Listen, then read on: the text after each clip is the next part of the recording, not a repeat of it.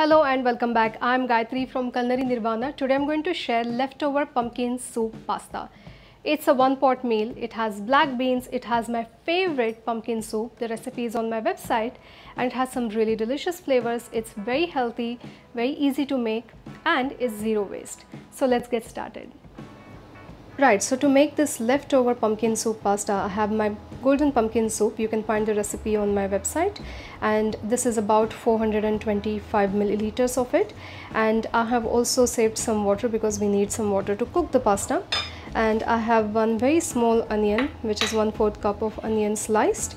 Uh, this is 250 grams of penne, uh, some garlic about 6 7 cloves of garlic sliced, some chilies, uh, about 10 cherry tomatoes and one can of black beans. This is optional. You can use whichever beans you have. And for seasoning i'm going to use some pepper some chili flakes and some chilies. Right so my pot is quite hot. I'm going to add very little olive oil.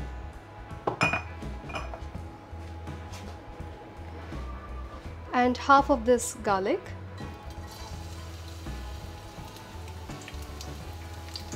This is an optional step but I like to do it. So what I'm going to do, I'm going to just uh, brown this garlic and uh, fish it out. I'm going to keep this aside for garnishing. Right, as you can see my garlic is nice and brown. I'm going to just fish it out and keep it aside. Right, so in the same pan I'm going to add some more olive oil. Now make sure you don't add too much because your pumpkin soup will also have some fat. So my pumpkin soup has just a little bit of golden ghee. And now I'm going to add all of this garlic and the chilies in there.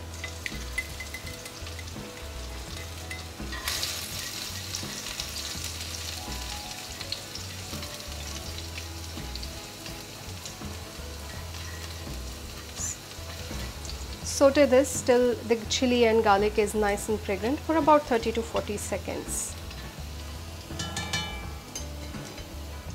Right, it has been about 40 seconds. Now I'm going to add the onion.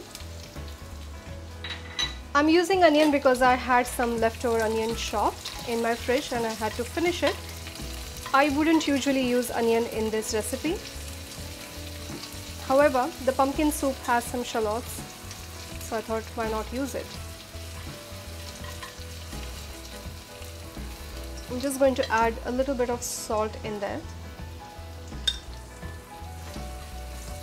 Make sure that you don't over salt your dish because the soup has some salt and saute this for just uh, 1 to 2 minutes. Right, so it has been about 2 minutes and my onion is nice and sauteed. Now I'm going to add the cherry tomatoes in there. Just give it a mix and cook it for just 30-40 uh, seconds.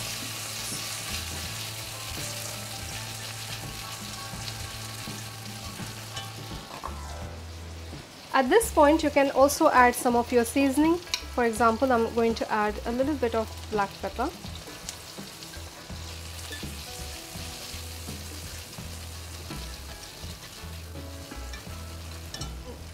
Right, so my tomatoes are sauteing here from last 40 seconds. Now I'm going to add the leftover pumpkin soup.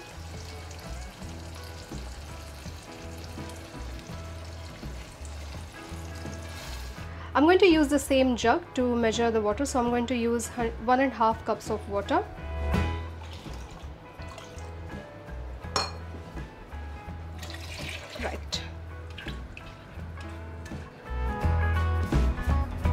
Right, after adding the water, I'm going to simmer this for just 2-3 minutes before I add the pasta. Right, as you can see, this soup is simmering. Now I'm going to add the penne in there and keep the flame on medium low. And right, my pasta is halfway cooked. I'm going to add the black beans in there you can add whichever beans you need to at this point and I'm going to add half a cup of water. Give it a mix. and cook it till the pasta is properly cooked. Right, so it has been about 10 minutes and my pasta is properly cooked. I'm going to add a little bit of cream to give that creamy consistency, creamy texture to this pasta.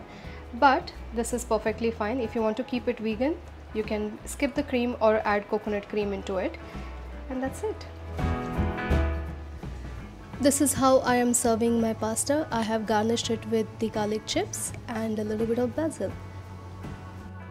Right, I hope you enjoyed watching this video and I hope you give this zero waste recipe a try. If you try my recipes, please don't forget to tag me and thanks for watching. Stay home, stay safe and bye.